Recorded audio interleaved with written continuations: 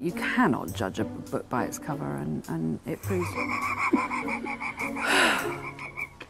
you farting? You.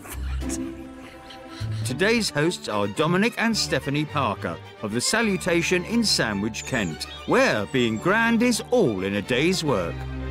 I don't think we live a high life. We have a great fun life. Cheers. But that's part of what we do. And if that involves a, a few gins and the odd bottle of champagne, well, so be it. I can't imagine spending another day with anybody else while she still walks the earth. Don't. We'll have to get a room in a minute. yeah. Good God. Today's lady of the house, Steph, wants to show her guests a good time Edwardian style. Now, as you know, in these old houses, the drawing rooms used to be called the parlours. Mm-hmm. So, we shall be playing some parlour games this afternoon. Very Appropriate. But before anything else, we really all need to have some champagne. Brilliant. Richard!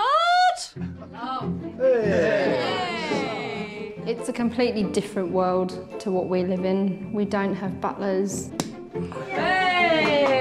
If I think we didn't know Dom and Steph as well as we do now, I would think somebody would be showing off. Right, everybody, let the games begin. Orange peeling, peel. Mash, mash, mash, mash. it's very entertaining. Forrest Gump! Next, Dom introduces his guest to a more obscure parlour classic. OK, hey, Harry. Hello, Harry. Tell Harry. Tell Harry. Wrong. Oh, marvellous.